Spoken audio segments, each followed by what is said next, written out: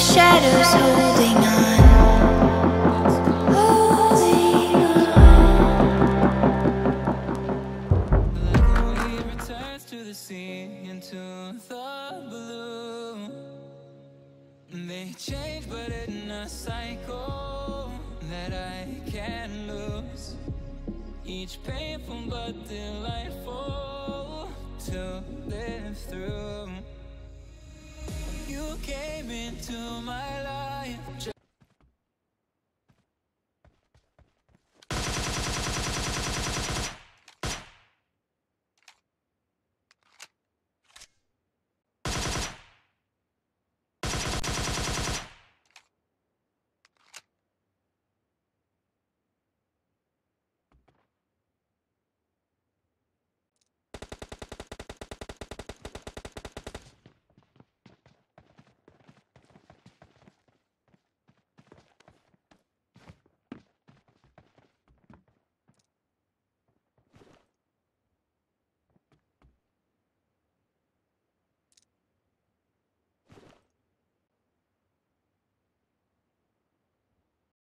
Introducing the Scorpion, a brand new 9mm machine pistol coming to all battlegrounds.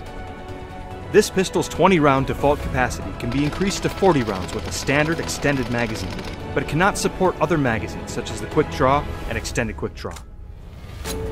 While it has a lower per bullet damage than other pistols, the Scorpion comes with the option to switch from single fire to full auto, and is the first pistol to feature slots for a grip and stock to help you control its spray. Just don't expect it to be too accurate beyond 50 meters. The Scorpion is most effective in early close quarters engagements, but can work later in the game as a pocket SMG, leaving your primary weapon slots open for more powerful long and mid-range weapons. If you're able to kit it out with the right attachments, of course. If you're looking for a quick, full auto option to start your match, or a reliable close range alternative later in the game, pick up a Scorpion next try.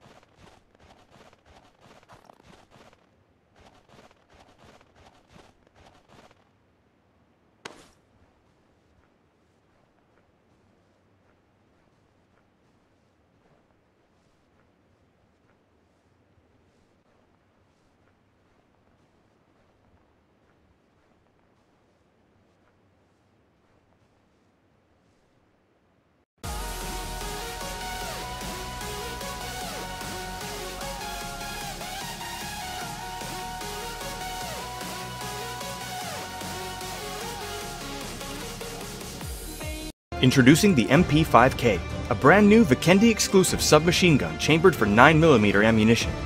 Once this gun is released, the Vector will no longer spawn on Vikendi. While the firing mechanics of the MP5K are similar to those of the Vector, it boasts a higher per bullet damage, but with a lower overall firing rate and DPS. This SMG also has a higher magazine capacity than the Vector, starting at 30 rounds by default, with 40 rounds in an extended magazine. The MP5K is highly versatile with single, burst, and full auto firing options, and has slots for all attachment types, including a tactical stock. When kitted out with the right attachments, the MP5K is a reliable short-range weapon for early to mid-game fights, but can hold its own when fully kitted out in the endgame. If you need the attachment versatility of an advanced AR, but the short-range reliability of a standard SMG, try picking up the MP5K on your next drop.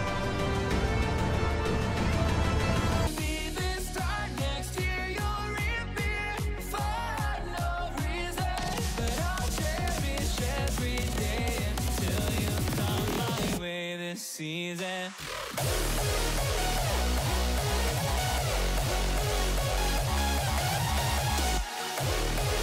Just now, Bisfarts, the same guy who found out how to get into the Vikendi cave, made a Reddit leaks post on the Erangel update. But keep in mind that Rascalica and Crapple are other contributors to this information as well. In that same post, 600 of these newly added red structures are the same buildings you will find just about everywhere, but duplicated across the map. Some of these, like these rocks here, might have been added by accident. Some interesting places to point out is this bridge area here, which looks like it might be covered up now, or maybe it's turned into a dam. They also added a driving ramp at the south side of Georgopol Bridge. Other changes to point out are Shooting range has a line of warehouses now, which by the way looks like it has its landscape changed into more of a cliff than a hill. And the area around Quarry has a massive change as well, including landmark changes. Map however locates every single tier 3 building on the map. There's a massive improvement as compared to before. Lastly, there's a heat map for changes made into the landscape, which are mostly slight flattening of hills to make sure there are room for new buildings.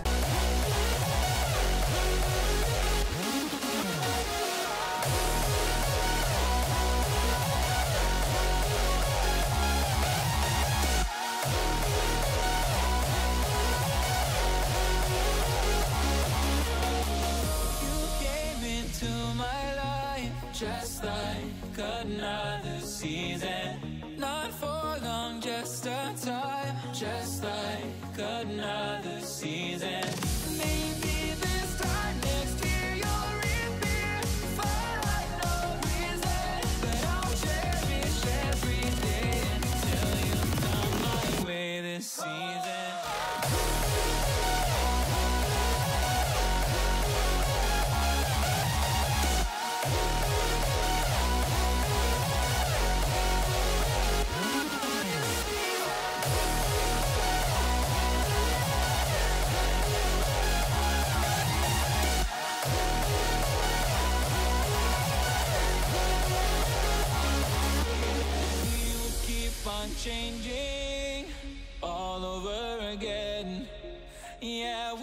keep on changing